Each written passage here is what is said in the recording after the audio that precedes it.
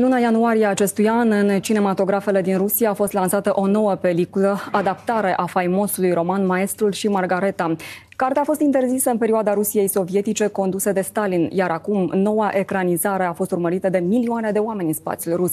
Filmul a atras imediat atenția propagandiștilor pro-Putin, iar regizorul peliculei a fost numit agent străin. Situația a pornit și de la faptul că pelicula a primit finanțare de la statul rus. Угадали. А вы? Ангел. Скорее ведьма. И что же вы pишете? Maestrul și Margareta, celebrul roman al autorului rus Mihail Bulgakov, a fost ecranizat de curând, iar premiera a avut loc la Moscova în luna ianuarie a acestui an. Как получилось, что реакционная пьеса «Пилат» добралась до публикации и потом до постановки? Кого ты имел в виду под персонажем Воланд. Воланд? Дьявол, в которого никто не верит, решает лично посетить Москву. În primul weekend de difuzare, pelicula a fost urmărită de peste 3,5 milioane de oameni. Cartea lui Bulgakov însă este una dintre cele mai controversate din spațiul literar rus, pentru că are un parcurs marcat de cenzură încă din perioada stalinistă.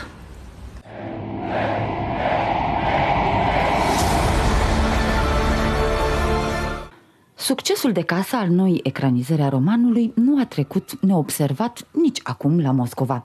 În platourile de televiziune, propagandiștii pro-putere, adică pro-Putin, s-au lansat în acuzații la adresa regizorului și a peliculei în sine. Cartea este cea mai iubită carte rusească, uh, Maestru și Margarita. Uh, probabil puține romane îi fac concurență, poate Demonii de Dostoevski și, hai să zicem, poate ceva din Tolstoi la nivelul de popularitate.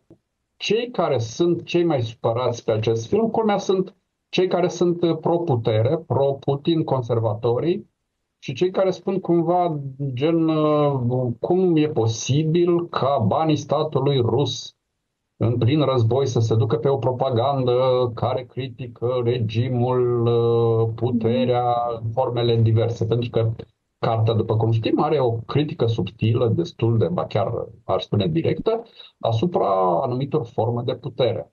All of the propaganda channels were kind of going after me in the movie and saying, "How is it possible that this movie was released today? It's an, it's a you know anti-regime movie. It, it, it the, the directors, uh, you know, against the war and speaking out. How is this possible?" And that blew up to basically all of the propagandists and state TV, you know, calling for criminal cases against me and for the movie to be banned, and it reached the state Duma, so it kind of got all out of proportion.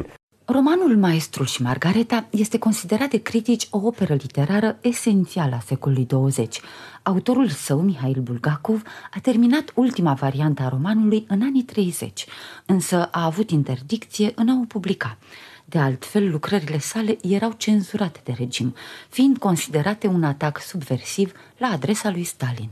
There was kind of an irony in the fact that the same thing was happening to the movie, which is about the writer and his book, you know, um, 80 years later. Faptul că există un box office, adică un număr atât de mare care merge să vadă acest film, spune destul de multe despre, să zicem, uh, o anumită stare de spirit a oamenilor de acolo. Asta e clar că uh, susținerea care, de care se zice atât de mult că ar fi uh, față de Kremlin, față de război, este mult mai mică în realitate și doar e un context Reportajul integral îl puteți urmări duminică în cadrul emisiunii Cult de la ora 21.